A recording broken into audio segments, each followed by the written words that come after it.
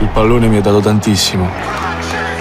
Mi ha fatto incontrare persone magnifiche, grandi campioni e gente comune. E ora comincia il secondo tempo della mia vita. Amore, ma è bellissima. No, non l'ho scritto io. È di Antonio Cassano. Quello a 35 anni già lascia il pallone, è matto. Ma come è che alla tua età vuoi ancora giocare? Eh, perché è quello che so fare, amico. C'è un tempo per giocare, ha un tempo per vivere. L'ha già fregata una volta il tempo, Francesco. Che devo fare? La pasta? 50 grammi. Dolci? No. La cioccolata? È un dolce, non ci prova. Quella amara? Tanto non ti piace. La bomba alla crema? Sto scherzando. Lo so che è complicata per voi. Ma sono braccato, no? Ti piace il lupetto? Gagliardo, eh? Ma non stiamo esagerando. Ma un bar, il giornalaio. Qua vicino, un par di chilometri.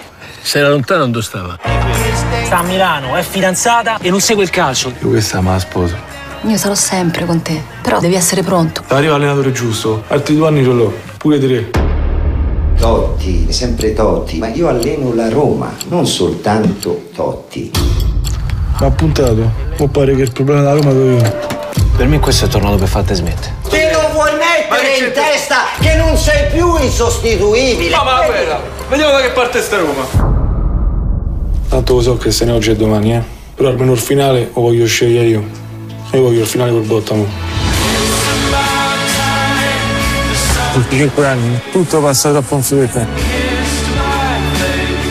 Io ho paura che senza quella palla non so manco che cazzo so. Un viaggio, un amore, una vita.